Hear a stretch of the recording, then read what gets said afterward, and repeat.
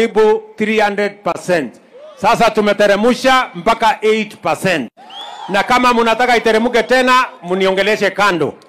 Ndio nijue vile nitafanya, si namna hiyo? Sasa sikizeni, sikizeni.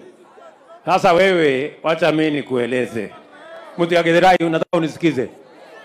Ile sasa ya awamu ya pili hii ambayo inaitwa ya vikundi ya kuendesha biashara, mumesikia tutawapatia kati ya elfu ishirini na shilingi milioni moja kwa kikundi. Nyinyi mko tayari na kuchukua hiyo pesa? Mtajipanga kwa vikundi? Vijana mtajipanga kwa vikundi? Kina mama mtajipanga kwa vikundi? Sikizeni, iko kashida tu kadogo kwamba sasa wewe nikwambie, unajua kuna watu hapa mi nawaangalia kwa macho. Kuna watu walibeba pesa ya Hustler Fund ile ya kwanza na wakaenda wakiendanga, na mi nawaona wako hapa eh? Sasa wewe, wacha nikueleze sasa. Sikia, wacha nikufanyie hesabu, wacha niwafanyie hesabu. Sasa tuko tayari kupatia wewe kwa kikundi 20,000 mpaka shilingi milioni moja kwa kikundi, si ndio? Lakini kabla hatujakupatia 20,000 wewe, ile mia tano ulichukua ama elfu moja ulipe kwanza, ama mnasemaje?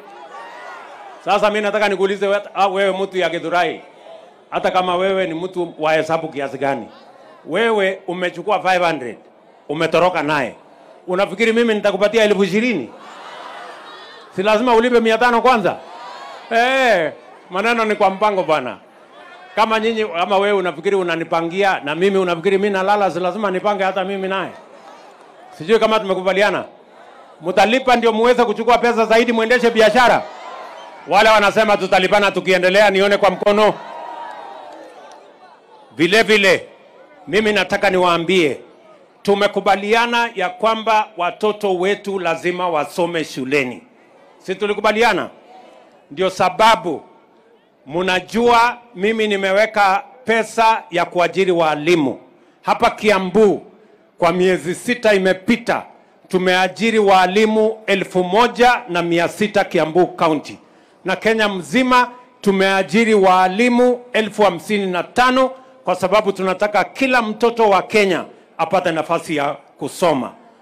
Watu wa Kiambu, mimi nataka niwaeleze mahali ya usawa, mahali ambayo Kenya itakuwa sawa, mahali mtoto wa rais na mtoto wa mama mboga watakuwa sawa ni kwa mambo ya elimu, na ndio tunaweka pesa nyingi kwa mambo ya elimu, ndio watoto wetu wote wapate nafasi ya kusoma.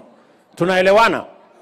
Ya tatu, tulipatana tukasema lazima tupunguze gharama ya maisha, lazima tupunguze gharama ya chakula. Ni kweli ama si kweli? Ni kweli ama si kweli? Na ndio nimewaambia, niliwaambia tutapunguza gharama ya mbolea. Mbolea ilikuwa inauzwa last year 7000 sasa tumepunguza mbolea kutoka 7000 mpaka shilingi elfu tatu na mia tano mwaka huu. Mimi natangaza nikiwa hapa Githurai leo, tukienda mbele, kuanzia wiki hii mbolea tena tunapunguza kutoka shilingi elfu tatu mpaka shilingi elfu mbili na mia tano kwa sababu tunataka kuhakikisha ya kwamba tunawasaidia wakulima wetu wazalishe chakula, ndio bei ya unga iteremuke. Ni kwa sababu tumesaidia wakulima. Mimi nataka niwaulize, si mnajua unga inatoka kwa mahindi na mnajua mahindi inatoka shambani? Kwani mahindi inatoka sokoni? Si mahindi inatoka shambani? na ili tuhakikisha kwamba tuko na chakula ya kutosha ni kusaidia mkulima. Mimi nawashukuru wakulima wa Kenya. Wakulima wa Kenya wamefanya kazi mzuri mwaka huu, hata mkiona sehemu yote ya Kenya, kwa sababu tuliwasaidia na mbolea. Wakulima wamefanya bidii. Mwezi moja, mwezi mbili ijayo, tutakuwa na chakula ajabu katika taifa letu la Kenya, kwa sababu ya bidii ya wakulima wetu na usaidizi wetu na Mungu ambaye ametusaidia na mvua. Tuko pamoja jameni? Sasa mimi nataka niwaulize, kwa sababu unajua wale wengine ambao wale watu wa stori mingi ati wanatuambia kupunguza gharama ya unga, ati lazima uvae sufuria kwa kichwa, ati naufanya maandamano. Mimi nauliza nyinyi, watu wa Githurai, hata kwa dawa ama kwa uganga ama kwa uchawi, ukivaa sufuria kwa kichwa, bei ya unga itabadilika? Sio, ni mambo ya upuzi. Mimi nataka niwahakikishie hiyo mpango tutakuwa nayo ya kuzalisha chakula, tuondoe aibu ya njaa, na niliwaahidi, na hiyo kazi tutafanya na bidii.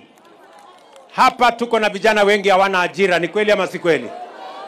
Vijana wa Githurai muko? Vijana wa Githurai muko?